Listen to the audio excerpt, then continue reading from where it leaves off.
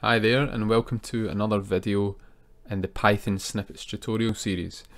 In this video we're going to take a look at how to count the number of occurrences in a data structure in Python and particularly we're going to take a look at two uh, two things in the collections module in Python and that's the default dict and the counter. So We'll come to them a bit later, but first of all, let's try counting this list of people. Let's try counting the number of occurrences of each person um, in that list. And we're going to start by doing this manually. So I'll set um, an empty dictionary, and this dictionary is going to store as a key the name, let's say John, and the value is the number of times that that key occurs in the list. So in this case, John occurs three times. So it would be the key John would, would return the value 3. Dave returns uh, 2 because there's two occurrences of Dave in the list. So we want to build up that dictionary to store the counts of the number of items, uh, uh the number of occurrences of each name. So we're going to iterate over the lists. For person and people, we're going to say, now first of all we want to add the person to the counts array if they don't already exist. So I can say if person is not in counts, that means if there is no key with that person's name in the counts dictionary, then we're going to add it and we're going to say counts person equals 1. Now, the reason it's set to 1 is because if it doesn't exist in the dictionary, let's say we we come to John at the beginning, John will not exist at the beginning and we then create a key called John and set the number equal to 1 and then the next time it occurs it, it, it sees John in the dictionary in, in the list. We want to increment the value. So that's what we're going to do in the else block. If the person is already in the counts we can get the key and oops we can increment the value by 1 okay now that's the for loop that will calculate the count of each name in that list. So if we look at the end result of that, we can see that John is there three times, Martin's there once, Dave is there twice, and Brad is there once.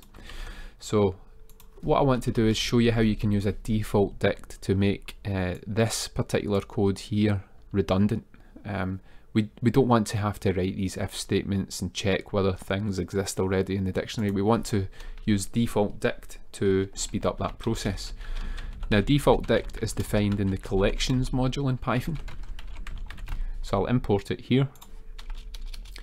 And then I'll create another variable called counts and we'll set that to default dict. And we'll pass in a factory function that's used to initialize a key that doesn't already exist in the dictionary. Let me explain what this means. We're using the int factory function, which if you don't call it with any arguments returns the default value of an integer, which is zero. So what happens is when we look to set a, a new key in this dictionary, if it doesn't already exist, it's created with the value zero, okay? And that, that reduces the, the code that was in the for loop to a single line. So I can say for person in people. Counts person and I'll say plus equals 1 so we're, we're just incrementing okay? And then at the end I'll return counts. And we see we get the same result in here. It's a default dict instead of a dictionary but it's the same result. We can still index into it. We can say Brad. We get the count for Brad which is 1 and yeah, so we don't need to check whether person already exists in counts the way we did up here.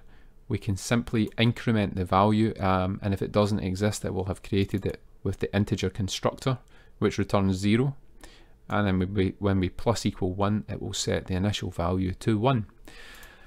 And just to demonstrate what default dict is, Python has a top level is subclass function which I can then I can use here to verify that the, the default dict that we've got counts as a subclass of dict.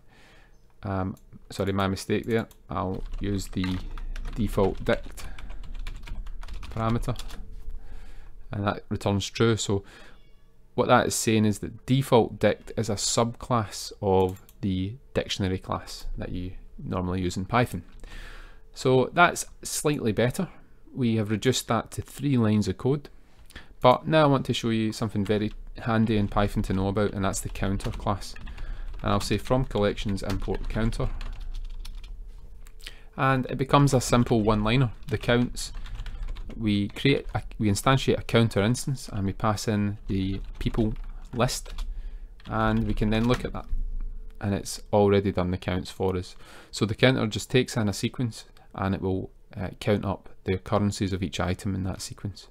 John again has three and same for the rest of these values. Now what I want to show you that the again counter is a subclass of dictionary.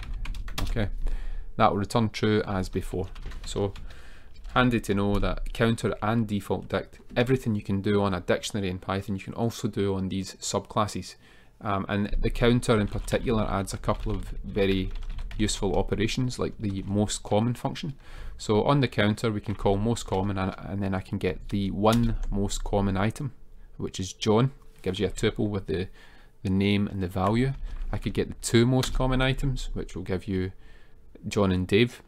And actually, you know, if you have a big list, you could say, you know, give me the 50 most common items, and that will do that for you. Okay, so um, that's quite useful to know. Um, and finally, there is another function that the counter class adds to the normal dictionary uh, API, and that's the subtract function. So what I can actually do is subtract off a second iterable.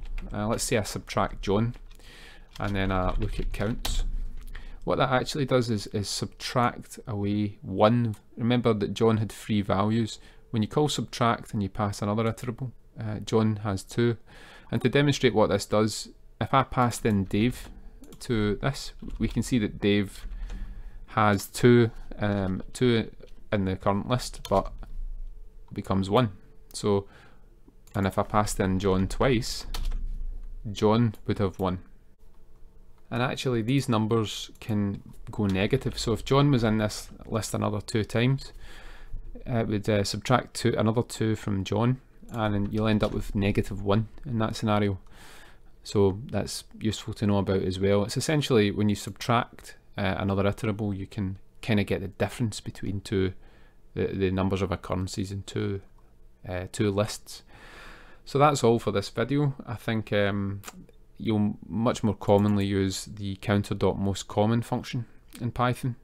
Counter.subtract is maybe useful for particular scenarios. Uh, I can't say I've ever used it in production code, but it's there if you need it.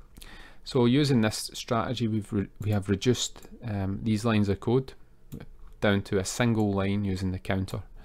And also very handy to know about, the default dict can eliminate that sort of burdensome code that you need to uh, to write in order to check whether a key exists in a dictionary before you instantiate it. You simply provide the default dict with a constructor, in this case the int function, and it will create that default by um, it will create that default on its own um, if it doesn't already exist in the dictionary, the item that you're trying to put in. So that's all for this video. Thank you for watching and please subscribe and any requests, give me a shout. Thank you.